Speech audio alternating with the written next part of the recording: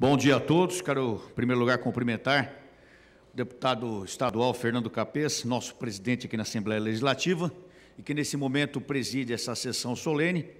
Cumprimentar também Sua Excelência o vice-almirante Glauco Castilho de Antônia, digníssimo comandante do 8 Distrito Naval. Saudar também o contra-almirante intendente Agostinho Santos do Couto. Em nome dele, saudar os demais oficiais, praças aqui presentes, saudar todos os amigos presentes hoje nessa solenidade.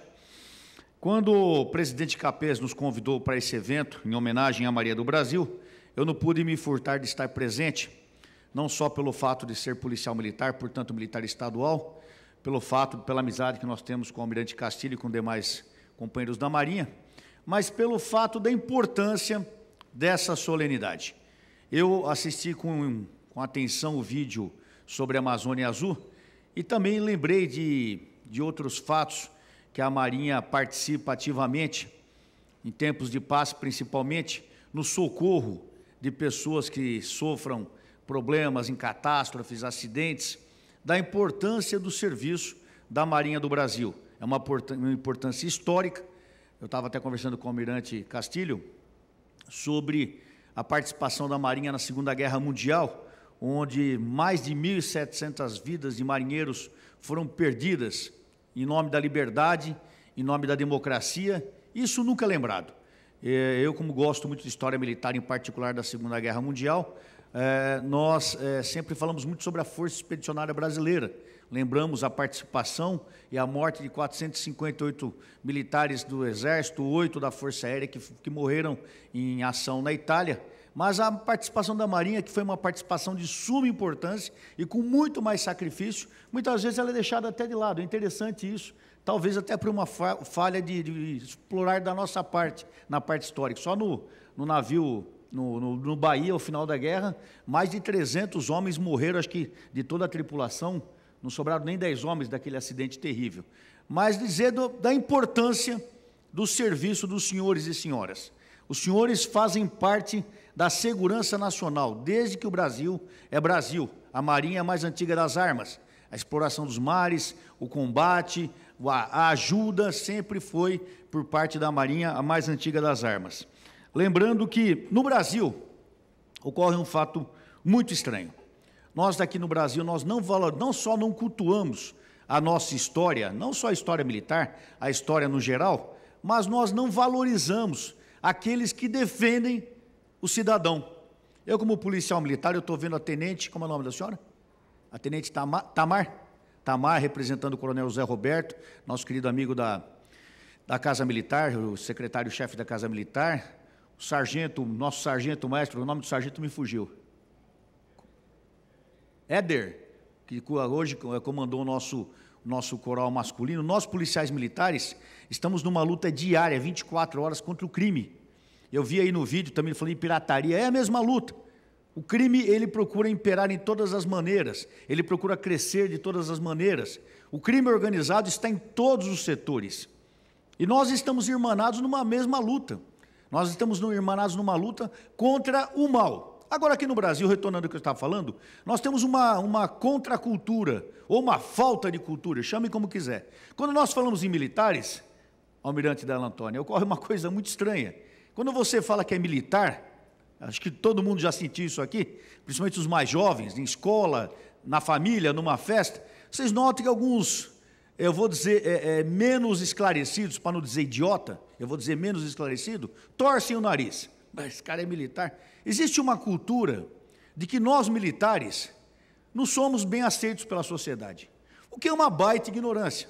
Essa cultura foi criada principalmente devido à Revolução de 64, onde houve uma ação naquela, naqueles anos, necessário ou não, mas é só a gente estudar, a gente vai notar que aquela ação foi pedida pela sociedade, principalmente pela imprensa que hoje critica. E houve uma ação que durou alguns anos, nós não vamos entrar no, no mérito se foi boa ou má, se foi necessário ou não, mas houve, aconteceu, muita gente foi exilada e essas pessoas exiladas ficaram, é lógico, com muita bronca dos militares. E quando voltam com a anistia, a primeira coisa que eles falam, nós precisamos mudar tudo que nós tínhamos. E o principal foco, a principal, eh, o alvo de ataque dessas pessoas foram os militares. e simplesmente atacaram por atacar, sem qualquer base, sem qualquer objetivo. A, a, ideia era mudar o que existia. E nós, militares, fomos os alvos disso. Nenhum dos senhores aqui, nenhum dos senhores, principalmente talvez o almirante, os oficiais mais antigos, tenham entrado na década de 70 na Marinha. Mas os outros aqui são muito mais jovens. Mas notem que quando os senhores falam que são militares, os senhores já são relacionados à ditadura, à tortura e outros absurdos que dizem da gente. Dizem por quê? Porque nós incomodamos. Dizem por quê? Porque essas pessoas que queriam as desordens nos anos 60 e 70, hoje muitos deles estão no poder. Muitos deles estão no poder. E vem falar em democracia, vem falando uma série de coisas que eles combateram como guerrilheiros, como pessoas de grupo armados. E essas pessoas que, que, que pegaram em armas, hoje usam o seu mandato para tentar desvirtuar a ordem novamente. Vejam o que aconteceu. Nós tivemos uma presidente deposta, nós tivemos, estamos com dezenas de políticos presos, nós estamos com pessoas que se diziam que inclusive participaram de guerrilhas, hoje presos por formação de quadrilha, corrupção, bandido, bandido e bandido. São essas pessoas que querem nos atacar. Por isso que eu quero dizer aos senhores e senhoras o seguinte: continuem firmes na missão, não abaixem a cabeça, não deem ouvidos para essas pessoas que querem o mal. Porque 90% da população, a grande maioria da população, a esmagadora maioria da população quer o bem-estar do país, quer a segurança do país. E são os senhores que representam essa segurança nos nossos mares, nos nossos rios, nas nossas bacias hidrográficas. São os senhores que trazem a comunhão e o progresso para o Brasil. Haja vista que, inclusive, estamos procurando expandir a nossa área marítima. E, e quem faz isso com maestria? Os senhores. Então, não se deixem abater por comentários contrários à nossa missão. Não mudem, não mudem a disciplina, a hierarquia, as missões estabelecidas por causa dessas pessoas que querem justamente isso: nos dividir, destruir, minar as nossas instituições. Na Polícia Militar, nós estamos passando uma fase terrível, terrível.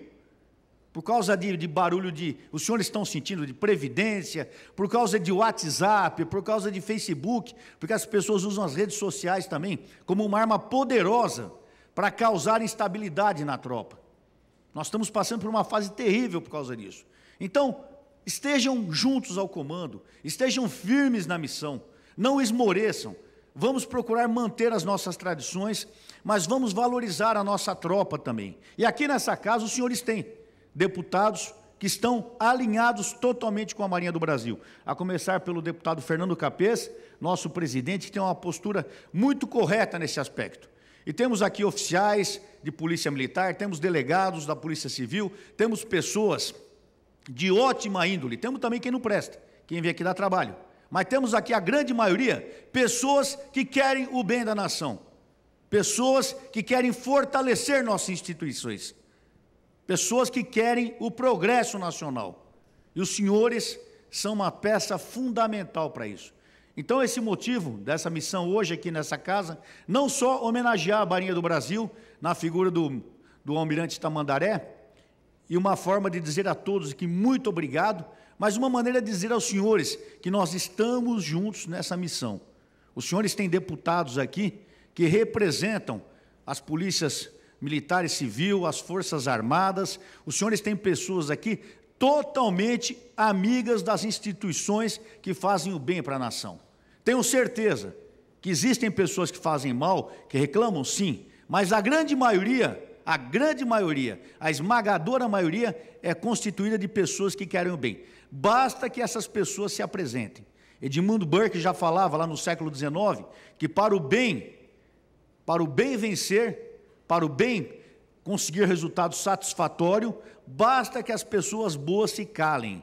E foi isso que nós fizemos ao longo dos anos. Foi isso que nós fizemos. Nós ficamos calados e eles foram crescendo, crescendo, mas isso vai mudar. Nós não ficaremos mais calados. Nós estamos atentos, estamos agindo, estamos usando todos os meios competentes para nós não deixarmos o Brasil prosseguir no caminho que ele estava, num caminho total de desordem, num caminho total de contradição às coisas boas. Parabéns a todos, Parabéns à Marinha do Brasil. Estejamos alinhados e tenham certeza que a vitória sempre será nossa. Deus abençoe a todos.